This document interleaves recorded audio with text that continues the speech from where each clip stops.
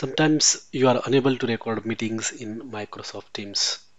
So there can be multiple reasons why this happens. So let us look at three solutions.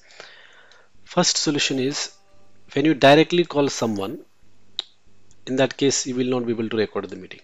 Okay.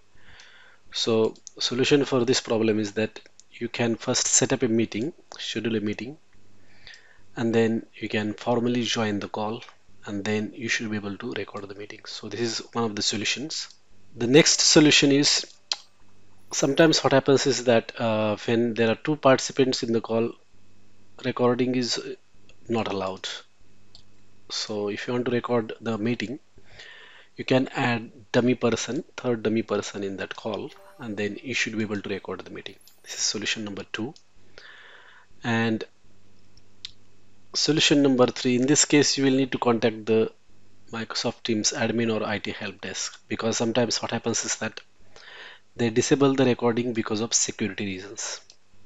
They don't want to share the corporate data with third parties. So in that case, recording may be disabled and IT help desk might help you in that case.